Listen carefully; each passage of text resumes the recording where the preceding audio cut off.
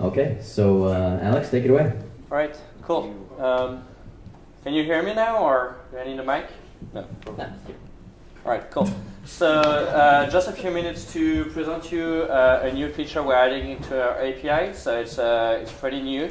Uh, just a quick summary for the one who doesn't know Algolia or uh, what we're focusing on. Uh, we are a hosted search API, and of course, we're focused on relevance, speed, and also user experience. So if I search, for example, for a product here, I can see that results get refreshed in real time, but in addition to all those products, I'll also get uh, what we call facets, which are actually used as filters, and those are refreshed and contextualized.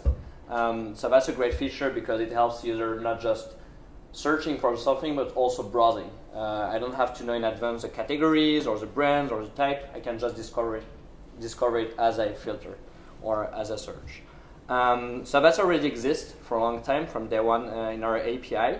Um, you can already, uh, for day one as well, display as many as you want. So of course, in terms of uh, UI and UX, we recommend you not displaying a list of 100. Um, some people do, they do scrolling. Uh, a better uh, best practice is to actually do show more. So you display maybe 5, 10, and then you have show more, but it's still limited.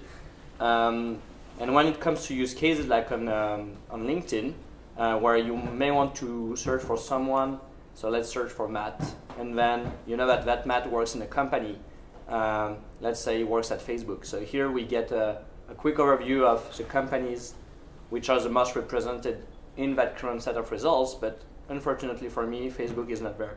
So what they offer here is a small feature where I can actually search for Facebook, and then I will be able to refine my set of data based on that new filter. Um, and it's actually what we adding today to our API. So uh, I'm glad to present um, that new feature, which we call um, search for facet values, and which the purpose is to be able to search among the different facet values available for a given context of search. Um, so once again, it's something very unique. Um, even our competitors are not doing it today. Um, so let's say here I search TV and I can search for LG. And what makes it really unique is that you don't search among all the values, all the brands here. You just search among the ones that are available for that given context of search. So if I would have been searching for something that doesn't exist, it tells me that it doesn't exist. So here takes into account also typo tolerance, so it exists, but can go further, it doesn't exist. Um, so that's just one way to use it. Um, but there is also multiple other ways to use it. Um, like here, um, that will enable us to um, to provide you uh, with great guides to build um, Pinterest-like experiences where you type one keyword and then you get suggested the other keywords based on the first one, or the kind of experience like on Slack where you can type from and then you get to search from all the the users, or you can search for dates, or you can search for categories. So that's just the beginning.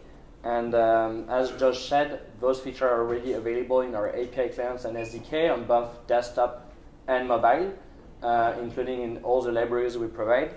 And um, in the next coming weeks, we're gonna come with more guides and resources for you to play with. So, yeah, thank you guys. Hey, thank you, Alex.